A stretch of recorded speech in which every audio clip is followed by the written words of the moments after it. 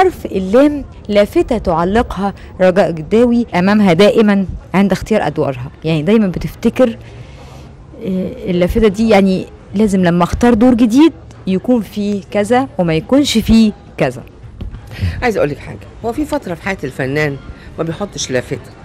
في الأول بقى. يعني بيبقى عايز يشتغل وبيوحشه الفن ويبقى نفسه في أي دور ونفسه يقول أي الجمله ده في البدايات.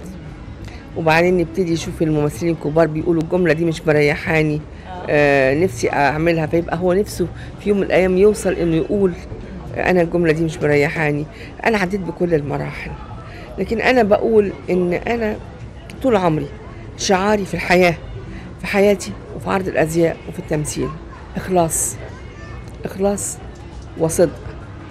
صدق في الأداء بيوصلك مية المية لقلب الجمهور. صدقك في جملة بتقوليها وبتحسيها قوي قوي قوي قوي. الإحساس بتوصليه من عبر الشاشة للمتفرج. فأنا الحمد لله أنا صادقة جدا جدا في أدائي ومخلصة جدا في أداء عملي وملتزمة قوي في مواعيدي. يمكن الفنان الملتزم ملتزم حتى في المواعيد وملتزم في عدم الخروج عن النص ملتزم في عدم الإسفاف ملتزم بأنه ما يستخفش بعقل جمهوره ملتزم بأنه يحترم آه، مشاعر البنت الصغيرة اللي قاعدة سواء في المسرح أو قدام التلفزيون. ده مهم قوي قوي أنا يعني نقول إن هو فنان آه، ملتزم من كل النواحي مخلص وصادق. حضرتك آه، عموما في المسرح ما بتخرجيش فعلا عن النص خالص ولا بتخرجي في حدود معينة حضرتك بتشوفي إن هي دي حدود اللياقة على الأقل؟ لا أنا ما أعرفش. أنا أصلي مش ممثله قوي يعني. مش. مش ممثله مسرح يعني من اللي يعرفوا يعملوا ده. أنا ما أعرفش. أنا أصلي وقفت جنب نجم سوبر ستار اسمه عادل إمام. فعادل إمام كان هو يعني آه، إحنا بنقعد على الترابيزة الأول ونعمل بروفاتنا واللي عنده ملحوظة يقولها على الترابيزة. لكن وانس إن الثلاث دقات بتوع المسرح ابتدوا والستارة اتفتحت الكل ملتزم حتى بالنفس في اللحظة في التوقيت المطلوب. يعني أنا ما أقدرش آخد نفسي في وسط جملة في مكان غير مكانه اللي خدته قبلها بيوم وقبلها بيوم وقبلها بيوم لأن ودن اللي قدامي أخذت على رتم معين. لو أنا اديته الجملة بقطعه نفس مختلفة هو نفسه حي... هيتبرج فأنا اتعلمت المسرح على إيد ممثل مسرحي جيد قوي قوي وتعلمت إن احترامي أنا نابع من احترامي للجمهور. فده كان ال- ال- القاعدة الأولى اللي اتعلمتها من عادل واللي بشكره عليها قوي حرف الجيم جوه رجاء الجداوي لسه في حاجات كتير قوي لسه ما طلعتش. يا بتقوليها بقلب قوي يا مدام رجاء. أنا حاسة إنها كتير قوي قوي قوي قوي قوي افتكري لنا إيه منها اللي أنت متحمسة له قوي دلوقتي؟ كنت أنا مثلا آه، الأستاذ عادل اكتشف إن أنا كوميديانة سنة 85 يعني في ال في ال 15 سنة الأخرانيين دول. آه، أنا ممثلة كوميدي كويسة قوي الحمد لله. وممثلة التراجيدي كويسة قوي قوي و حاسة إن جوايا حاجات كتيرة هم ربطوني آه، وقت كتير قوي قوي قوي بالأرستقراطية ال- اللي على طول قاعدة قدام المراية وما فيش حاجة شغله مخها ابدا. آه، أنا جوايا كتير. أنا جوايا بنت بلد إيه الدور اللي نفسك بقى ال- الحاجة من الأدوار اللي جواكي ونفسك إن انت تؤديها فعلا؟ صوري من وأنا صغيرة قوي قوي. يعني الناس تقول مثلا نفسها تشتغل دور لعبته مثلا ليس تايلور مش عارفة مين. أنا كان نفسي في دور لعبته السيدة الجميلة قوي سناء جميل. اللي هو يا ستي دورها في بداية ونهاية. صوري أنا الدور ده بعشقه بعشقه بعشقه بعشقه. البنت الدميمة اللي ضحت بنفسها وبشرفها عشان أخوها. من أحلى الأدوار اللي أنا بعشقهم على الشاشة. وكنت طول عمري من صغري أقول نفسي نفسي في يوم أبقى ممثلة كويسة وألعب الدور ده. ففعلا بحبه.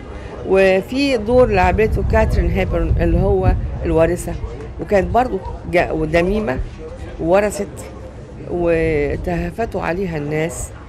وعشان فلوسها وكده وبعدين آه، حبت واحد وحبت تمتحنه وتمتحن مدى حبه ليها وبتاع وبيتقولوا إن هي ضاعت ثروتها وبتاع ما بتلاقيهوش. المهم انه دور برضو آه، مبني على آه، الأداء أكتر منه الشكل. فدي الأدوار اللي أنا ميالة ليها قوي قوي ونفسي ألعب دور بنت بلد بقى. بنت بلد بنت بلد بنت يعني. بلد بحبها بقى. باللبس وبالأداء وباللهجة وكله ما أنا بنت. بلد حرف الدال هنرجع تاني لدعاء الكروان أو تالت مرة لدعاء الكروان ونفتكر ذكرياتك عنه آه كان لي في ذكريات حضرتك مش ممكن تنسيها. يا ترى تفتكر لنا إيه موقف من موقف بعينه بقى حضرتك تفتكر؟ بعينه. آه بعينه. بعينه هو كان موقف اولا أنا كنت بتكلم عربي سيء جدا وكانوا جايبين لي الأستاذ أحمد البدوي الله يرحمه عشان يعلمني لغة عربية وفي الآخر لما فشلوا خلوني باخد leçons de français مع الخوجة. ف كان في مشهد لمدام فاتن آه، قلت له عشان أنا فرحانة. قال انت نايمة المفروض نايمة فرحانة ليه؟ قلت له عشان أنا مش متصورة إن مدام فاتن الحمامه هتوطي تبوس إيدي فأنا نفسي أبص عليها تبوس إيدي. استغفر الله العظيم. لا أنا فرحانة. القمة دي هتوطي على إيدي أنا. فعمالة إيه نايمة كده. قال لي أشوفها وهي أبص عليها. قال لي يا حبيبتي ده تمثيل خليكي نايمة وقفلي عينيكي خالص لغاية ما تخلص. فعايزة أقول لك إن ال- ال- التمثيل مع العمالقة دول كان متعة متعة جميلة قوي. بدليل اولا كنا كلنا عارفين قيمة الناس دول حتى أنا كنت أيام صغيرة قوي لكن كنت عارفة إن أنا واقفة وسط آه، عمالقة كبار قوي قوي. فكنت عارفة حجمي كويس قوي قوي قوي وكنت بحترم العمالقة دول وعارفة مقدارهم إيه.